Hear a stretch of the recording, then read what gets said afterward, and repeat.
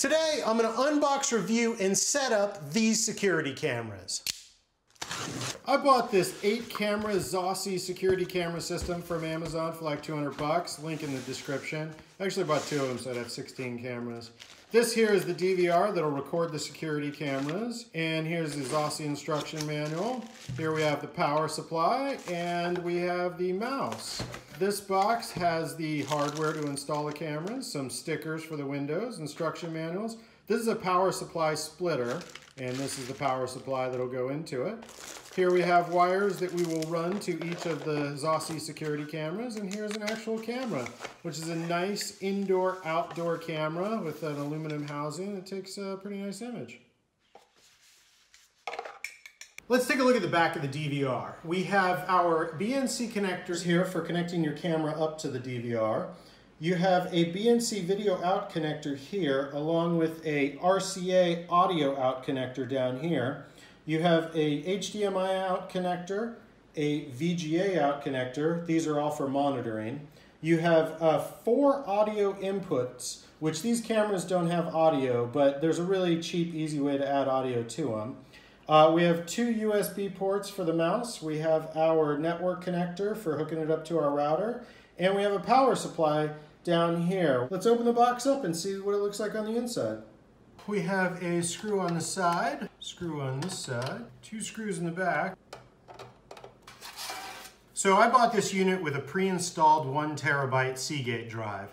Uh, but if you were installing your own drive or you wanted to swap this out to upgrade it, uh, it's just the screws that hold the drive down right here and then the two connectors. It's a pretty simple installation. Okay, let's connect this thing up and get it working. First, we plug the power in. This is the power for the cameras. Then the other end goes into this splitter that splits it up into four for the four different cameras. That goes into the end that's marked connect to DVR. And then the other side of this BNC connector goes onto here with a twist. We've connected the four cameras up to the DVR and up to their power supply. Now the other end needs to be hooked up to the camera which is pretty easy. There is a side that says connect to camera. You plug the red into the red and the blue BNC connector goes on with a turn as well. I've connected the other three surveillance cameras, so all of them are now connected to the DVR. I'm gonna connect the mouse to the back of the unit, connect our HDMI cable so we can monitor the cameras, and connect up power. The front power light has gone on. All right, here we are at the main window uh, when you first start it up. And uh, this thing is feature packed. You're gonna wanna download the app. That'll allow you to monitor the cameras on uh, your phone, but you can also access the cameras using your computer. And you're gonna wanna go to uh, the to Zosi's website and uh, download the owner's manual because there's a lot of stuff that this does. Uh, very quickly here on the main screen, um, you can change month, day, year. We can go back in and change this. Uh, but uh, you want to know GM mean time, uh, Greenwich mean time, where you are located. We're in California, so that's minus eight. Uh, the date and the time you don't really care about at this point because uh, you'll hook it up to a network and then you can sync it with a network time server. Uh, and this way it matches your phone and your computer. Uh, so here we are with uh, the eight cameras showing. If I right click, I can look at a single camera like channel one, um, or I can go multi and look at channel one through four, or even there's this neat version down here where you see all of them, but one camera is bigger than the rest. A couple of neat things that it does, color. Uh, you can adjust the color, the brightness of every each individual camera, which is great because you might have a camera that's in outside and it's in a bright area, or it's inside and it's in a dark area, or it may need you know more color saturation, higher contrast. Uh, you can hit default to get back to what's normal. Uh, but uh, that's pretty neat that you can adjust the color for each camera. Uh, PTZ, which is pan tilt zoom, that's for adding pan tilt zoom cameras.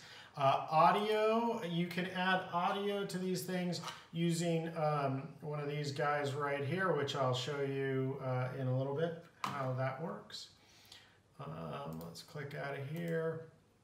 if we go down to uh, main menu, um, we go into setup, basic.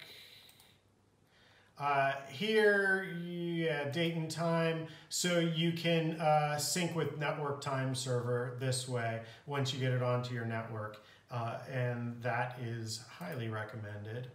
Um, under here, I think it's an alarm motion maybe yeah so each camera you can set up areas that it uh, when it detects motion it triggers the camera to record and if it doesn't detect motion then the camera isn't recording so it saves you tons of hard drive space and you can also eliminate areas because uh, if you say had this pointed to your uh, front lawn and your street was viewable and cars were always going by, you wouldn't want to record every time a car went by. So you could uh, click and drag to deselect, you know, this area over here and it won't record when uh, that area is seen.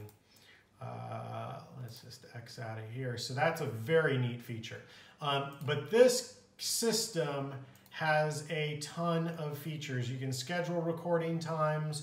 Um, you can record based on uh, uh, motion.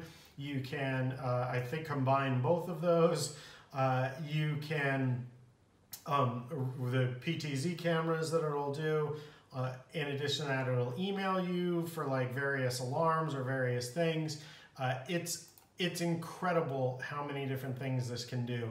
Uh, like I say, you can look at it on your phone or you can look at it on a computer. You can back up the files to a, a, a USB drive and then look at them on your computer and save them that way. So you need to get the owner's manual to see everything that this thing can do because uh, it is feature packed. Um, for now, let's go back to here and one through four so you can see me on all four beautiful cameras as I'm gonna pick this one up, isn't that neat?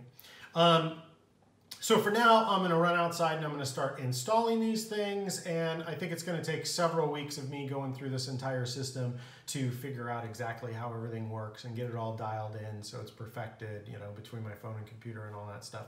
Um, I hope you enjoy this video and you find it useful. If you do, please uh, hit like and subscribe, particularly subscribe. We're trying to get to 100,000 subscribers. We currently have about 37,000. Uh, I think that's where it is. Um, and uh, when we get to 100,000, YouTube will send us a cool plaque. So we really appreciate that. Plus, in addition to how-to videos, we make a ton of fun videos, like we make uh, travel videos and daily vlogs and all sorts of interesting stuff. So if you could like and subscribe, I really appreciate that. Um, if not, hey, you know, I hope you enjoyed the video and found it useful. Right now, let's start installing these cameras.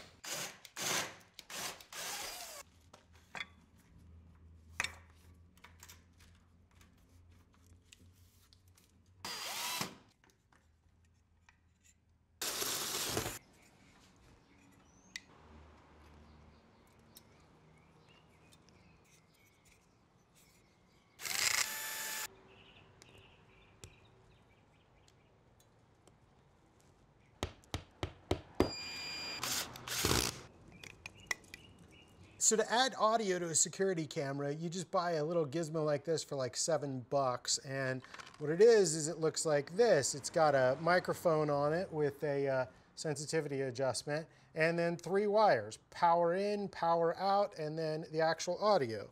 So you take your camera like this, and you have your video connection on your camera and your power connection. So you put the power connection together, and now this becomes your power. It loops through to the camera. This is still your video. And now you have an audio signal with this microphone. Pretty neat, right? All right, so I've got a camera set up right here. This one here catches the living room. And with not only one, but two cameras in the bedroom, it should capture sexy time.